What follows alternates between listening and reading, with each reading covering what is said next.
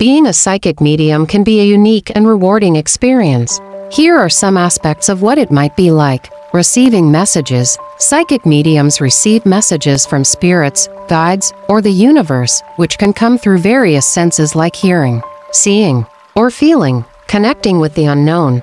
They act as a bridge between the physical and spiritual worlds, helping people communicate with loved ones who have passed away or access guidance from beyond. Emotional demands. This work can be emotionally challenging, as mediums may encounter intense emotions, traumas, or losses from clients and spirits. Personal growth.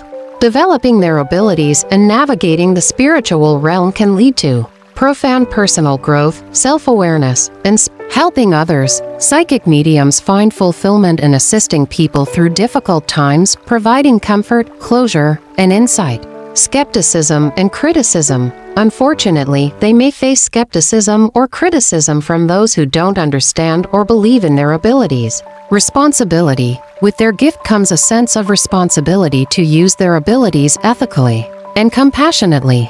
Keep in mind that every psychic medium's experience is unique, and their journey may vary based on their individual gifts, approaches, and perspectives.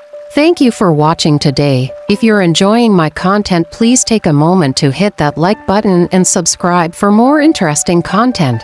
Until next time, blessings, love, and light.